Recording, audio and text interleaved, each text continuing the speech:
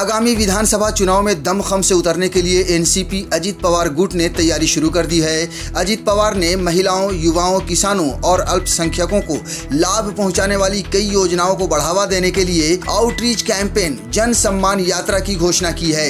यह यात्रा 8 अगस्त से शुरू होगी, जिसमें लोगों को सरकार की योजनाओं से अवगत कराया जाएगा। देखिए, हमने जो है, हमारे बहनों के लिए कुछ अच्छे निर्णय लिए।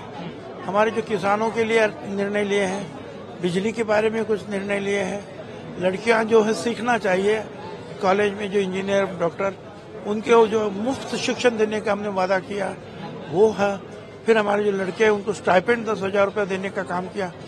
तो ये सारा जो सारी बातें जो है, लोगों तक ले जाना चाहिए। देहातों में आखिरी इंसान तक आखिरी घर तक ये सारी बातें जो है लेकर जाना चाहते हैं इसलिए ये यात्रा छगन भुजबल ने यह भी कहा है कि सरकार की योजनाओं का लाभ उठाने के लिए महिलाएँ खास तौर पर आगे आ रही हैं।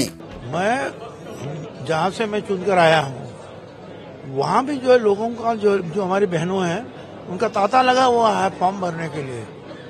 और हमारी कई सारी योजना बहुत लोकप्रिय हो रही है। कोई संदेह नहीं इसमें।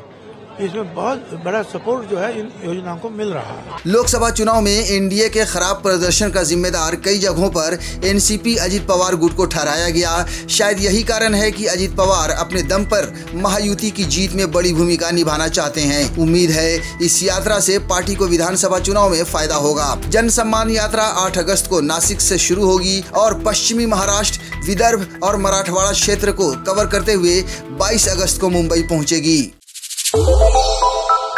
श्रेष्ठ भारत पर खबरों से जुड़े रहने के लिए चैनल को सब्सक्राइब और लाइक करें। बेल आइकन दबाएँ और देखते रहें श्रेष्ठ भारत।